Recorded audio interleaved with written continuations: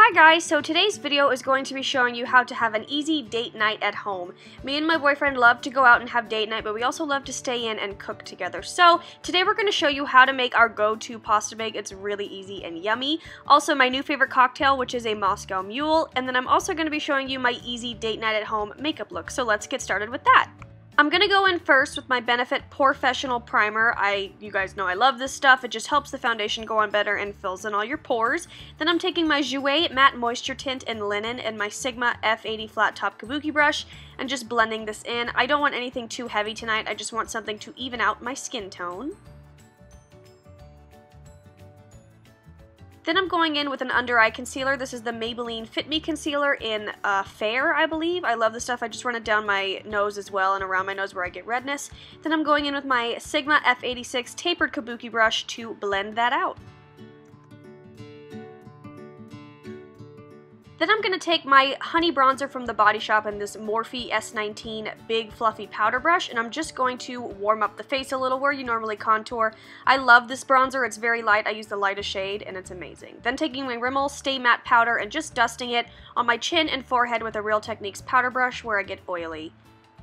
Then I'm going in with my favorite blush ever. This is NYX Mauve in a Real Techniques blush brush, and it's just the best color for whatever you're doing. If you're wearing a lot of eye makeup, if you're not wearing a lot of eye makeup, it's just a really good, flattering color. Then I'm taking this Becca Shimmering Highlighter in Opal, and I'm also taking this Baby Beauty Blender. It's so cute. I got the Beauty Blender damp, and I'm just kind of pressing it onto my cheeks, and it's such a beautiful glow, guys. It's amazing. And then today I'm going to be taking my Anastasia Brow Wiz in light or soft brown or something like that. And I'm just going to use the spoolie end first to brush out my brows. And then of course switch over to the pencil end and just fill them in. I love this pencil. It's the greatest brow pencil I've ever used. And since I'm not doing a lot of makeup tonight, I always like to have the brows nice and structured so that it kind of fills out the face.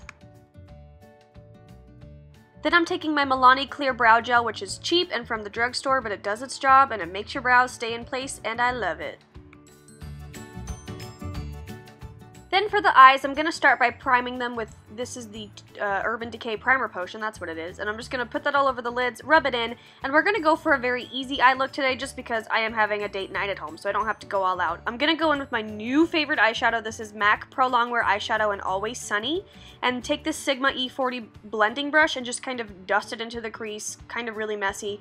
I love this color for my skin tone just because it allows me to have a definition in my crease without using too dark of a brown.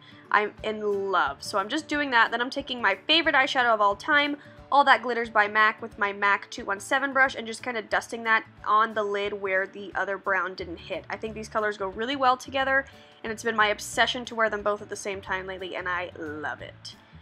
Then I'm going to take a clean blending brush and just blend out the edges so that we don't have any harsh lines. Then I'm going to, of course, curl my lashes. This is a Chanel eyelash curler. It's really dirty. And then I'm taking my CoverGirl Clump Crusher Mascara in black. It's my favorite mascara of all time. I recently picked up the black shade. I usually use the black brown shade, but I am loving it. It's the greatest mascara ever, and uh, yeah, it is.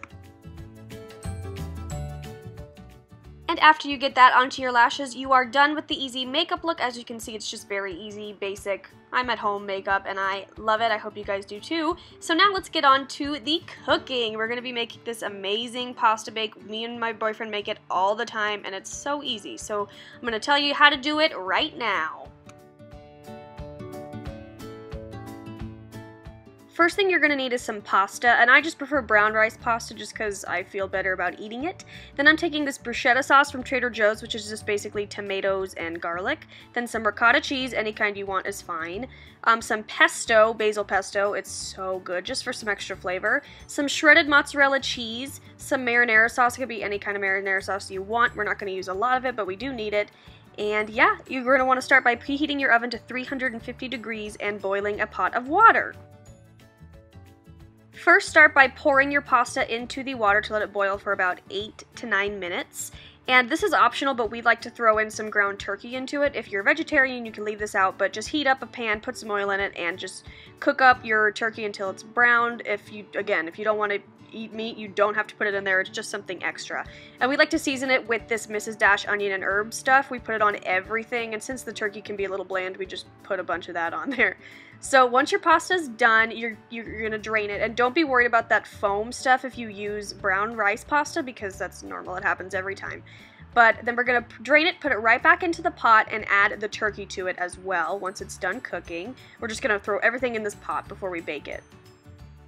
Then we're going to take the bruschetta sauce, which if you can't find this, just use marinara sauce and maybe add some garlic, but if you can, it's amazing. I'm just going to dump in the whole thing even though it was giving me trouble, but it's so good.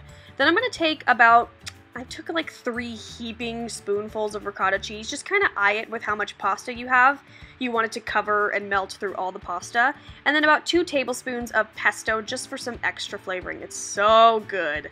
And then take a little bit of our shredded mozzarella cheese and just put it in there. And then we're to mix everything together.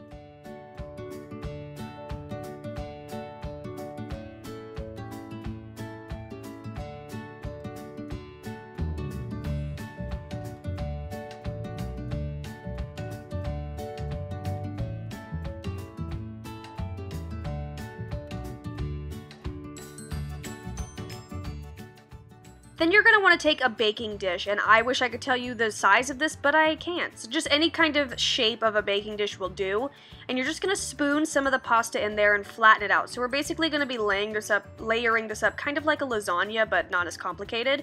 So we put in our first layer, and then we're to take that marinara sauce and just kind of spread it in between layers, and this is so that when we put it in the oven, it doesn't like dehydrate and make really like hard, crunchy pasta.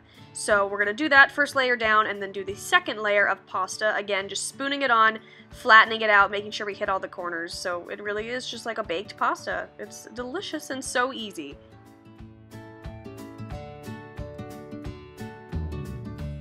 Once you do that, you're going to take the rest of that marinara sauce and just spread it all over the top, getting all the corners and just evenly disputing it. And then we're going to take the rest of that shredded mozzarella cheese and just sprinkling it over top so you have a nice cheesy melted crust. It is so good. And after you do this, you're going to put it in the oven for about 30 minutes or until the cheese is nice and golden brown and melted on top.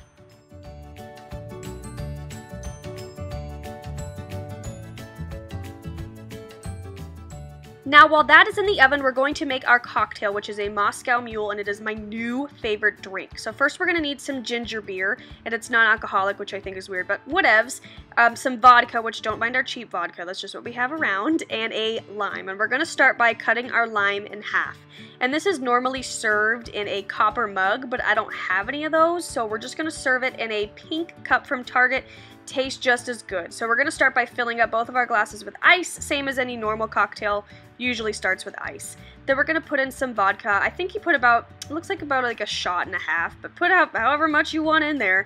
Um, and then we're to fill the rest of it up with the ginger beer. And this is so good. I am not big on the taste of alcohol, and I love this drink. Like, I can't get enough. I know I should probably just have one or two, but, you know, I want 14 of them. No, I'm just kidding. I won't do that. But also, squeeze a half a lime in each drink, mix it up, and then it's to be so good. If you guys like the taste of ginger, try this out because I waited too long to try it, and it's my new favorite.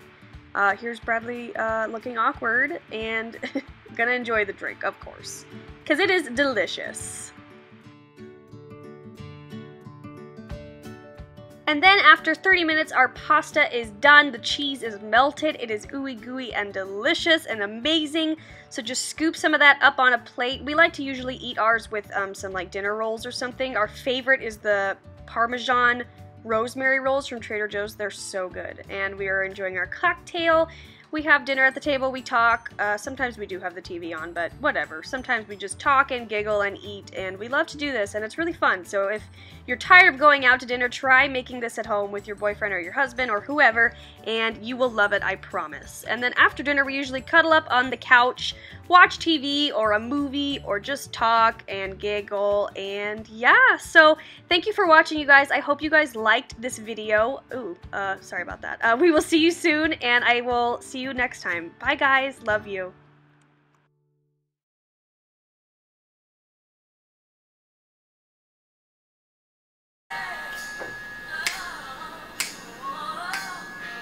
What if it's just lying